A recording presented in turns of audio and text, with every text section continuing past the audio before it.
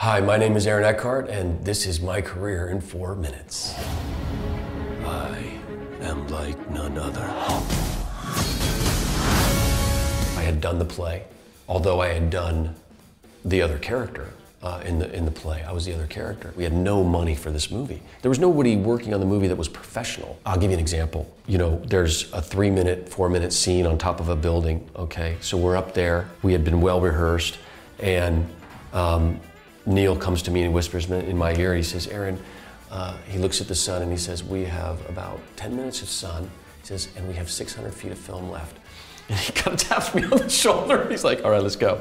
and so basically, we got a three minute scene, which is very, very good scene in one take, two takes. You know, in the airport, one take, two takes. You know, on the bed, one take, two takes. You know, so in, in that respect, it was like a play. Erin Brockovich was um, Steven Soderbergh, who had just been off Sex, Lies, and Videotape at Sundance, as uh, in the Company of Men was and um, asked me to be in Erin Brockovich. Um, you know, I went up and met Julia and uh, liked her, and she thought I was okay. So uh, well, they put me in the movie. I mean, nobody. Well, I certainly didn't know what Erin Brockovich was going to become. You know, it was sort of a, it's a staple in people's you know um, sort of film film lives. You know, it's so uh, um, known and. Uh, great time working with Steven. Again, a great director very calm, quiet, but sure.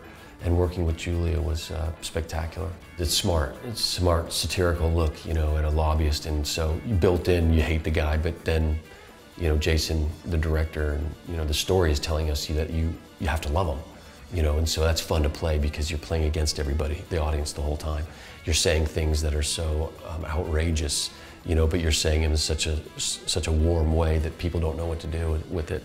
Um, I think probably of all my movies, that's the movie that around the world people appreciate the most. You know, they have a lot of fun watching it, and I feel like it's a movie that, you know, they feel like it talks to them, not you know down to them or you know it's uh, it's a very smart movie. I remember Chris calling me into his office and talking to me, and then uh, you know meeting was basically over, and he said, you know, would you like to read the script and play um, Harvey Dent? I was like, yeah, I would love that. You know, I've read it and I mean, to, for me, the box office, yes, all that sort of stuff is good, but uh, I think to have witnessed what Heath did with this character, to be around that, to see his commitment to the part, to see the courage it took to um, actually manifest that part, you know, because it's, it's very difficult to be that into your character and that outrageous, you know, on set every single day in front of everybody. It takes a lot of courage, and um, and so I was happy to be a part of that. Chris is uh, Chris is the franchise.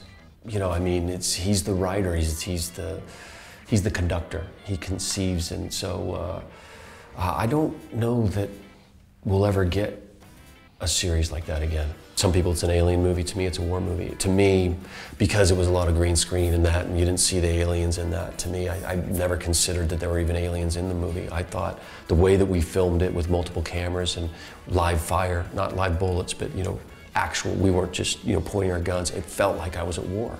And I would look around me, and we filmed it in Louisiana. It was so hot that we were literally drained to our bones and I would look around me and see the exhaustion on the other actors' faces and stuff. And I said, this is what it looks like. This is what, it, you know, obviously it feels different because we're not at war.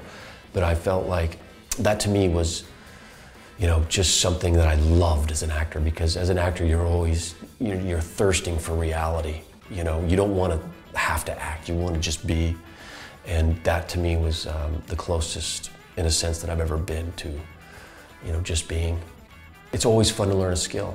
You know, that's a great thing about movie making is that you have experts teaching you, whether it's science or cooking, you know, in those reservations, um, or whatever it is. In Battle Los Angeles, we worked with Marines for six months, um, you know, because you get to be a, an expert and with the experts, and so you feel like the real deal. It's cool.